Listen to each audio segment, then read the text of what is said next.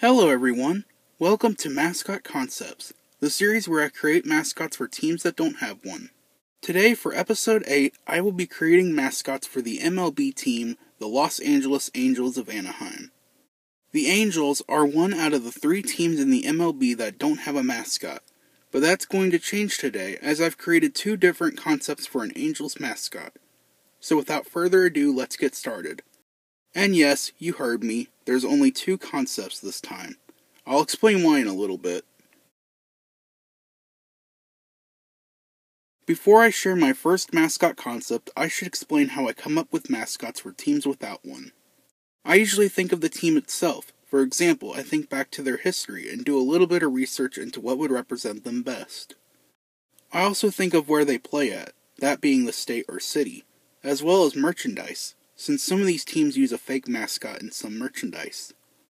So, with all that information out of the way, here's the first mascot concept for the Los Angeles Angels of Anaheim.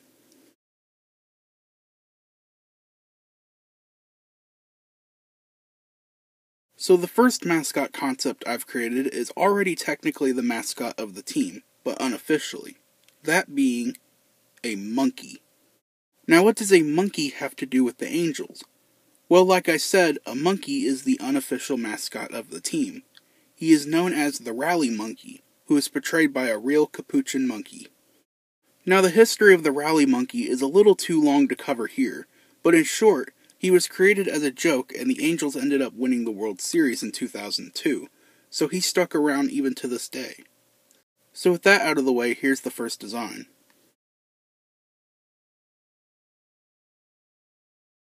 This is my design of the Angels Rally Monkey mascot. As for a name, I'm actually going to stick with Rally Monkey, because it's too iconic to change. His design is the same as the normal cartoon design seen on merchandise, but with a few changes. He has a huge lip with large teeth sticking out and a huge baseball cap. The only major change I made was the eyes, as the original had standard eyes, but I changed them to googly cookie monster eyes, because he's a monkey, and monkeys are crazy just like baseball fans, and nothing is more crazy than googly eyes. Now, while his head has white fur, his body has black fur, which matches a real capuchin monkey. His hands, feet, and face are tan, while his belly fur and the tip of his tail are white. And of course, I won't talk too much about the uniform as it's just the normal Angels uniform. Overall, this is definitely the best choice for the Angels mascot.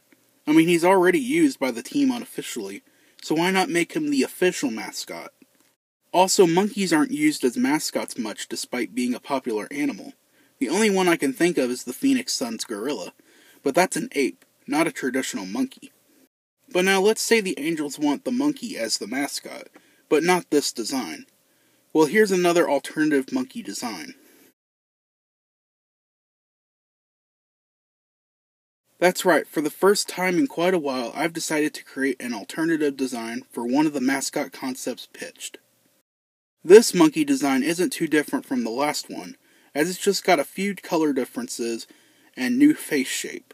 It's based off some stuffed animals sold at the stadium.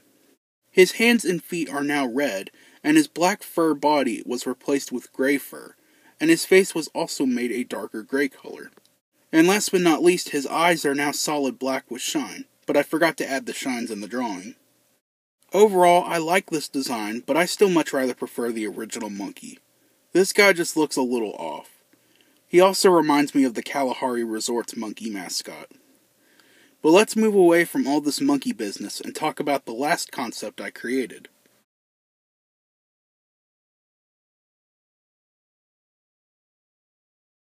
The last mascot I created is a pretty weird choice, but when I explain it'll make a little bit more sense.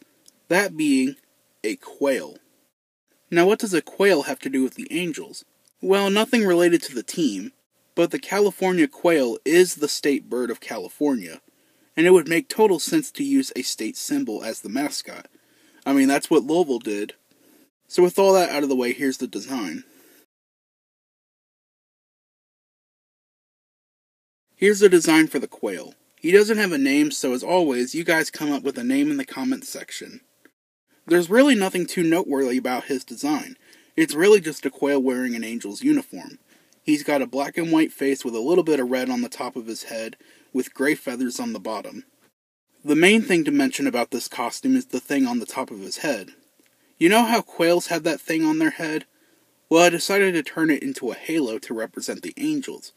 I even made it blue to match the logo. His wings are nothing too special, they're just gray and brown, and that also applies to the tail. He also, of course, has big yellow feet. Overall, a quail is a great choice for the Angels mascot considering what he's based off. There is one problem with having a quail as the Angels mascot.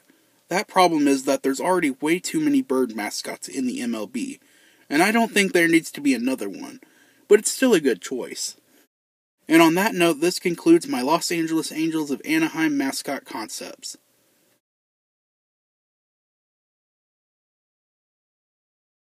And there you have it mascot concepts for the MLB's Los Angeles Angels of Anaheim. I know that some Angels fans may not actually want a mascot, and I can respect that, but don't get mad at me, this video was just for fun. However, if anyone working for the Los Angeles Angels of Anaheim is watching this, please consider getting a team mascot. It'll definitely help you. If you have any questions, let me know in the comment section down below. Please like, share, and subscribe. And I'll see you next month on Mascot Concepts Season 2. Bye bye. Oh my god, I forgot about these guys.